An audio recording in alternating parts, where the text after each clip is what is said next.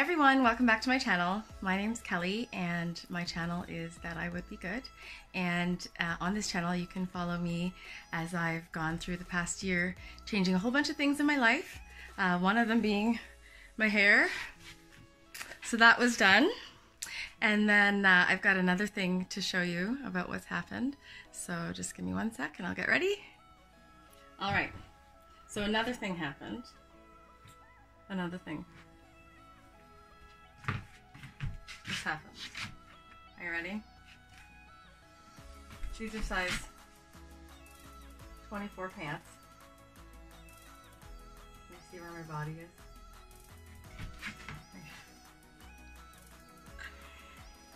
Okay. Okay, so I've lost uh, 100 pounds. Well, 98.5, but I'm pretty sure it's at 100 right now. I haven't weighed, I don't weigh as often. So, um, over the next while, I'm going to be uh, covering the different things that I did. So, I'm just gonna show, do a reveal where I'm at so we can get baseline. I don't have measurements because I didn't do measurements. That was one of the things that um, I wasn't really down with was doing anything that would be tracking um, anything that would give me an opportunity to experience failure. Um, another thing I did was I didn't post anything about this weight loss um, on this channel because I found that the last time when I was posting every week, um, I it stressed me out. It really stressed me out to think about having to report um, good success or not or failure. Um, so I didn't I didn't post anything. I just left it. I'm gonna put my sweater back on because I don't feel this is not not how I normally dress. But I just wanted to show you. And these are the Lululemon pants that I bought back in March of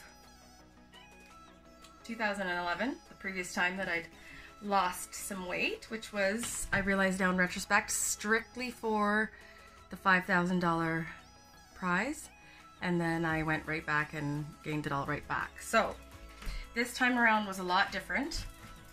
Lots of different things that I thought about um, and employed. So if you're interested in following me along as I share the different things that I uh, did this time around to lose this weight in a, a healthy uh, it wasn't even that slow. It was it was more so um, not as much work this time around, and I'll get into why that was, how I was able to um, have it be a little bit easier than it's been in the past.